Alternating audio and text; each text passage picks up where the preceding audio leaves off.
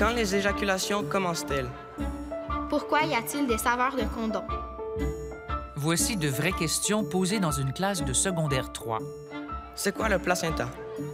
C'est quoi la taille moyenne d'un pénis? C'est souvent des questions par rapport à la normalité. Est-ce que c'est normal de? Est-ce que je suis normal si? C'est souvent par... Les, les jeunes veulent se valider dans ces questions-là. Les jeunes sont exposés à une multitude de facettes de la sexualité. Des relations pas toujours très saines lorsque vues à travers les médias sociaux ou à travers des sites Internet de pornographie. L'éducation à la sexualité permet de faire contrepoids euh, à toute ce- cette information-là qu'ils ont, euh, on pourrait même dire à toute cette désinformation-là qu'ils ont. L'Érablière est une des rares écoles secondaires au Québec à avoir accepté d'implanter le projet pilote. Nous sommes ici en milieu rural, blanc, homogène. Super, j'y vais. Il en reste une. Kyrian a 14 ans. Elle est une élève de secondaire 2. T'étais à bonne place. T'aurais tiré d'un animal? J'ai arrêté correct. Son père, Serge Gendreau, comme l'ensemble des parents de l'école, approuve la décision de la direction d'intégrer les cours d'éducation à la sexualité. Il y en a, il y a des places que c'est encore tabou, même de nos jours, là, que parle pas de ça, puis c'est caché, caché, caché, puis... Fait que l'enfant, il va apprendre comment? À cette heure, sur Internet, tu peux tout apprendre, mais... Hi! L'école secondaire de Saint-Félix de Valois avait une longueur d'avance. La direction avait toujours maintenu une partie de l'enseignement en sexualité, en accord avec la communauté. Un enfant de 5 ans qui décide de participer à un concours de beauté.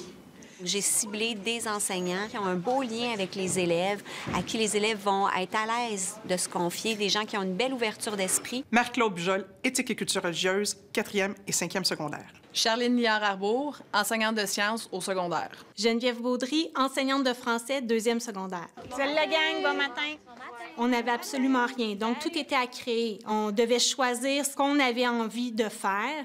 Euh, moi, c'est certain que, bon, par la littérature, je trouvais que c'était une bonne idée. On a monté un questionnaire, on a choisi des extraits dans un roman. trouvais ça original, là, on apprenait les relations amoureuses, c'est une première. Là, Moi, j'ai bien aimé ça, euh, de pouvoir voir ça pour vrai, parce que moi, j'en ai jamais vécu personnellement. Tu sais, quand on tombe en couple, on tombe pas nécessairement avec un je t'aime. Tu sais, il y a plusieurs phases d'apprentissage.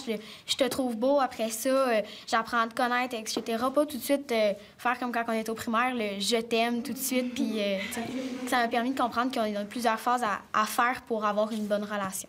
On avait des passages où est-ce qu'il y avait plus de violence. On sait que c'est pas acceptable, puis qu'on devrait pas tolérer ça quand on a une relation amoureuse, peu importe que ce soit verbal, physique ou de toute façon. Geneviève et ses collègues ont bâti elles-mêmes leurs cours avec l'appui de ressources spécialisées. Un jeune qui il se demande s'il y a une ITSS, elle se demande si elle est enceinte, elle a vécu une agression sexuelle, elle sait pas trop si c'est de la violence qu'elle vit ou si c'est pas... Ils sont pas disposés à l'apprentissage. Ils sont en détresse, ces jeunes-là. Donc, comment ils peuvent enseigner des maths ou du français dans un contexte comme ceux-là? Les cours qu'ils donnent, ça, ça peut pas être mauvais. C'est- C'est impossible que ce soit mauvais. Je trouve ça important. Nous, on n'avait pas, puis qu'il y ait eux autres la possibilité d'avoir ça. Je trouve ça merveilleux. Cette publicité-là, il y a des gens qui ont regardé ça qui ont fait... Le projet pilote prévoit que des professionnels abordent les sujets délicats comme la violence dans le couple, les maladies vénériennes ou les abus sexuels. Mais tout le reste est intégré aux cours que donnent habituellement les enseignants. Je fais référence autant au côté affectif, au côté psychologique, au côté culturel, au côté social, les lois et autres.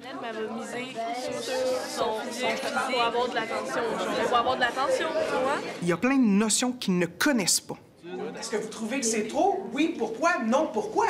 Puis il y a probablement des gens qui vont dire Je trouve ça agréable à regarder. Ah, c'est pas désagréable au regard ou à l'œil. Si je vous dis que c'est votre sœur, d'être capable de mettre euh, leurs limites, être capable d'en parler, ne pas arriver dans des situations où il est trop tard. On va pas tous à la même vitesse. Il y en a qui vont être prêts à faire des choses avant d'autres. Puis ça nous est écoutez-vous, là, puis respectez les autres. C'était vraiment cette partie-là de. C'est pas parce que toi, tu veux le faire, que toi, t'es prête à faire ça, que l'autre personne est nécessairement prête. Écoute l'autre, puis sois sûr que l'autre aussi est d'accord au moment où vous allez euh, franchir une étape. C'est de les outiller davantage, euh, le but premier. C'est être capable de se questionner, être capable de questionner les autres, être capable d'en parler ouvertement. De la sexualité aussi. Pas toujours juste à la blague, pas toujours en dérision. Parce qu'on peut dire... Ça touche tout le monde. Alors, ça touche? Tout le monde ici, c'est sûr qu'il y a des pressions de la société. Il y en a qui c'est d'autres affaires, mais c'est ça. Que se passe-t-il si un gars éjacule dans un autre? Est-ce qu'on peut faire l'amour pendant les menstruations? On veut pas savoir les expériences réelles des jeunes. Je veux pas savoir ce qu'ils ont fait leur fin de semaine. Puis ça, c'est établi dès le début. Il n'y a pas de mauvaise question. On répond avec des bons termes. On va pas banaliser non plus aucune question. On va répondre aux questions. Certains parents peuvent craindre que ces cours aient des effets négatifs. L'ensemble des études sont assez catégoriques. Le fait de parler de sexualité aux jeunes ne les incite aucunement à avoir des relations sexuelles. Euh, les jeunes, au contraire, qui bénéficient d'une éducation sexuelle ont des rapports sexuels davantage protégés, donc ils utilisent davantage de condoms, la contraception. À la limite, ils ont moins de partenaires, puis ils s'engagent dans des activités sexuelles avec lesquelles ils sont plus confortables et consentis. L'éducation à la sexualité est aussi un moyen efficace de lutter contre les ITSS, les infections transmises sexuellement et par le sang. C'est que présentement, une véritable épidémie frappe les jeunes âgés entre 15 et 24 ans de partout au Québec. Ils sont particulièrement touchés par la chlamydia et la gonorrhée, une problématique évidemment incluse dans le projet pilote. L'infirmière était venue. Puis euh, elle avait dit qu'elle trouvait que c'était un cas vraiment extrême ici.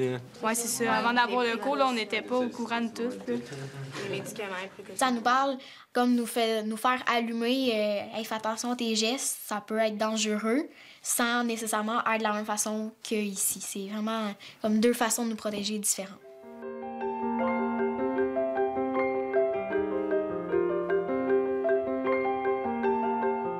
Le projet pilote sera évalué au cours de la prochaine année. Mais pour les parents de Kyriane, leur enseignement, appuyé par celui de l'école, porte déjà fruit. Geneviève en a beaucoup élaboré sur suivre les étapes, aller pas trop vite. Puis c'est ça que j'ai retenu le plus parce que, tu sais, c'est facile de se faire faire mal si tu sautes de « je le trouve cute » à euh, on sort ensemble », tu sais. Ouais, moi, je veux beaucoup la protéger pour pas qu'elle se fasse mal. Tu sais, papa, il me protégerait, là. S'il y a quelqu'un qui arrive ici, là, il se ferait poser plein de questions. Il écouterait. Il écouterait. non, mais il se ferait poser des questions. Juste écouter un petit peu plus que normal.